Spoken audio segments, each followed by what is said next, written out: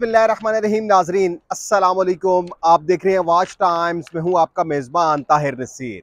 नाजरीन, जहाँ रहें, खुश रहें, आबाद रहें, सलामत रहें, हमारी दुआ है कि आप नसरबाज़ों, ठगबाज़ों, बहरूपियों, लुटेरों और फ्राडियों से भी बच के रहें।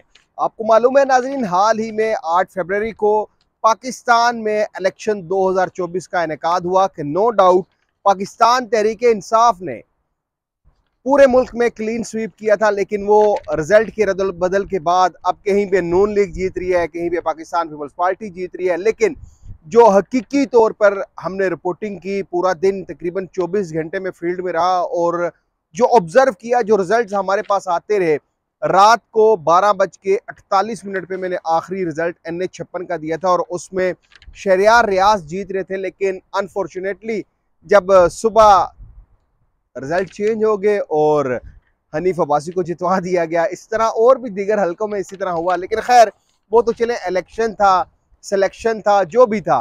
क्योंकि 2018 में भी ऐसा हुआ था तो इस दफ़ा भी ऐसा हुआ। उसके ऊपर हम बात नहीं करेंगे। हमारा जो टॉपिक होता है नुसरबाज हमारा टॉपिक होता है वो कंपनीज़ जो आपको बड़े इनाम का, बड़े मुनाफे का लालच देती हैं।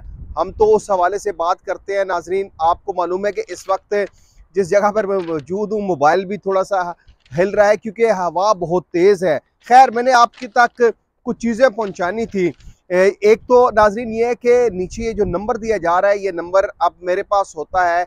किसी की भी कोई ऑनलाइन क्यूरी हो, कोई भी क्वेश्चन हो, आप डायरेक्ट मुझे रबता कर सकते हैं। आप अपने तहफ़ात से मुझे आगाह कर सकते हैं। जो नए नसरबाज नई नई कंपनीज़ लेके आ रहे हैं, उनके मतलब भी मुझे बता सकते हैं। आई एस एम मार्ट के हवाले से नाजरीन, कुछ अपडेट्स आई थी, मैंने सोचा आप तक पहुँचा दूँ। आई एस एम मार्ट के जो मालिक हैं, शोकत मरवत, अब उन लोगों ने आवाम को पता नहीं पैसे देने हैं, वापस नहीं देने हैं, लेकिन वो जो नई नई कंपनीज़ लॉन्च कर रहे हैं, उस हवाले से आपको अपडेट देनी है। फिर साथ आपको मालूम है, Al Hayat group of companies, उन्होंने एक नया प्रोजेक्ट शुरू किया, माल ऑफ़ गार्डन सिटी। अब अल हयात ग्रुप के जो मालिक हैं, जानजेब आलम, हाल ही में एस पी एल में उनकी टीम हैदराबाद बहादुर फाइनल तक पहुँची। वहाँ पे भी हमने खबर रिपोर्ट की थी। फिर अब जो Al Hayat group of companies के जो इन्वेस्टर्स हैं, उनके कोई इफ़ेक्टिव के ग्रुप बने हुए हैं, वहाँ पे शोर गुल पड़ा हुआ है कि Al Hayat group of companies के मालिक जानजेब आलम उनको रेंटल नहीं दे रहे, उनकी रकम वापस नहीं कर रहे। इस हवाले से मैंने बड़ी कोशिश की, Al Hayat group of companies के मालिक जानजेब आलम से पूछ सकूँ कि जनाब आप तो दावा कर रहे थे कि पाकिस्तान की पहली कंपनी है, पाकिस्तान की पहली ऐसी वेबसाइट है जो फ़िज़िकल प्रोजेक्ट लेके आई है जो फ़िज़िकल बिज़नेस करती है। हमने नो डाउट इसके ऊपर भी प्रोग्राम किया कि उनका वाकई ही फ़िज़िकल प्रोजेक्ट है। लेकिन अब जो सूरत हाल है अलहयात ग्रुप ऑफ़ कंपनीज़ के जो इन्वेस्टर्स हैं, वो लोग अब शोर डाल रहे हैं, चीखो पुकार कर रहे हैं तो उनको नवंबर, दिसंबर, जनवरी का अभी तक रेंटल नहीं मिला। तो जनजेब आलम साहब, आप भी नई नई कंपनीज़ लॉन्च कर रहे हैं। जहाँ मॉल ऑफ़ गार्डन सिटी आपने एक नया प्रोजेक्ट लॉन्च किया। अच्छी जगह है, हम मानते हैं। लेकिन जो आपके इन्वेस्टर्स हैं, जो शोर गुल कर रहे हैं, जो चीखो पुकार रहे हैं कि आप उनको, उनका महाना रेंटल नहीं दे रहे। तो हम क्या समझे, जिस तरह हाल ही में ट्रिपल एसोसिएट्स के फवाद बशीर शेख ने स्केम किया, फिर स्केयर नाइन ने, वो भी आपकी तरह सीरियल मंजिला इमारतें तामीर कर रहे थे, प्लाजे तामीर कर रहे थे, महाना रेंटल दे रहे थे। उन लोगों ने भी स्केम किया, उनके केसेस नैब में जा चुके हैं, नैब इंक्वायरी भी कर रहे हैं। तो क्या आप भी अब वही काम कर रहे हैं, जो और प्रॉपर्टी डीलर करते थे? जो लोगों को सुहाने ख्वाब दिखाते थे। अब जंजेब आलम साहब, आपकी अभी तक मौकफ कोई सामने नहीं आया कि क्या वाकई ही आप भी पाकिस्तानी अवाम से नुसरबाजी करने हैं या आप पाकिस्तानी अवाम को डिलीवर करेंगे? क्योंकि आपका माल ऑफ़ गार्डन सिटी का जो प्रोजेक्ट है, तीन से चार साल मुहित वो प्रोजेक्ट है। अब तीन चार साल में किसने ज़िंदा रहना है? किसने इस दारे फानी से कूच कर देना है? ये तो अल्लाह पाक को पता है। लेकिन जो आपके पुराने इन्वेस्टर्स हैं अलहयात ग्रुप के उनको आप रेंटल क्यों नहीं दे रहे? इसकी वजूहत बता दें, क्योंकि पहले आपने मौकफ दिया जी कि मैं तो रेंटल दे रहा हूँ, अब आगे जो उनके टीम लीडर है वो खा चुके हैं। तो अभी तक वही जो डाक के तीन पात यानी कि वो उसी तरह लोग शोर कर रहे हैं कि आपकी जानब से ना तो रिप्लाई दिया जाता है, ग्रुपों में वो लोग मैसेजेस करते हैं, कोई उनको रिप्लाई तक देना गवारा नहीं करता। तो क्या हम ये समझें कि अलहयात ग्रुप ऑफ़ कंपनीज़ भी स्केम करने के करीब पहुँच चुकी है? क्या हम ये समझें कि अलहयात ग्रुप ऑफ़ कंपनीज़ भी जो दीगर और कंपनियाँ आई थी, जो और वेबसाइट आई थी, बड़े इनाम का, बड़े मुनाफे का लालच दे रही थी, उसी तरह का फ्रॉड जानजेब आलम ने भी शुरू कर दिया है। या जानजेब आलम वाकई ही जो अलहयात ग्रुप ऑफ़ कंपनीज़ के जो इन्वेस्टर्स हैं, उनको रेंटल उनको अप्रिसिएशन देगा।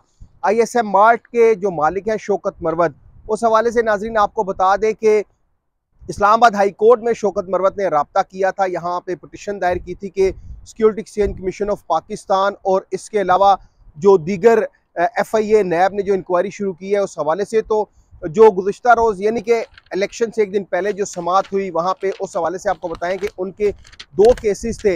एक में चार अप्रैल की तारीख पड़ी है और दूसरी में जो तारीख पड़ी है वो पड़ी है तेरह फरवरी। तेरह फरवरी को देखते हैं क्या होता है, लेकिन दूसरी जानब आई एस एम मार्ट के जो मालिक है शोकत मरवत उन्होंने दावा किया है कि सताईस फरवरी से पहले पहले जो तमाम इन्वेस्टर्स हैं, जिनकी रकम डूबी है, वो उनको पैसे वापस देंगे।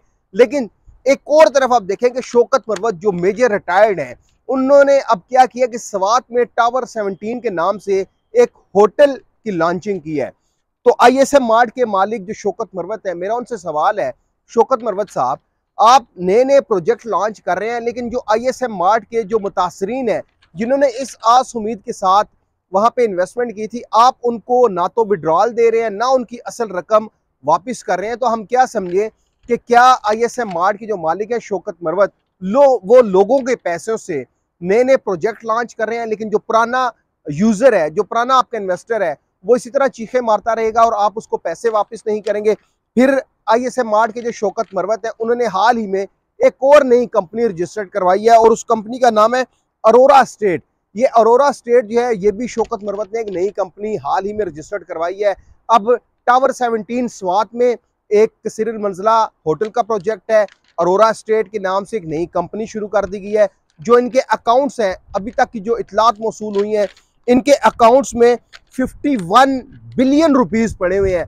अब वो 51 बिलियन रुपीस अब क्या हम ये समझें कि वो 51 बिलियन रुपीस जिन अकाउंट्स में पड़े हैं, वो अकाउंट्स फ्रीज हैं या जो डी फ्रीज हैं? क्योंकि अगर अकाउंट्स फ्रीज होते तो शौकत मरवत साहब नए नए जो प्रोजेक्ट लॉन्च कर रहे हैं, फिर नई नई आप देख लें कि शौकत मरवत साहब जो ओपनिंग सेरेमनीज कर रहे हैं, जो टूवर्स दे रहे हैं, वो किन पैसों से दे रहे हैं? तो शौकत मरवत साहब, अगर तो सताईस फरवरी से पहले पहले आपने जो यूज़र है आपका आई एस एम आर का इन्वेस्टर है, अगर तो आपने उसको पैसे वापस देना शुरू कर दिए तो फिर तो हम समझेंगे कि वाकई कोई ऐसा शख्स आया था कि जिसने लोगों के साथ फ्रॉड तो नहीं किया उसी कंपनी में कुछ हर्डल्स क्रिएट हुई थी तो उसने लोगों को पैसे वापस दे दिए हैं।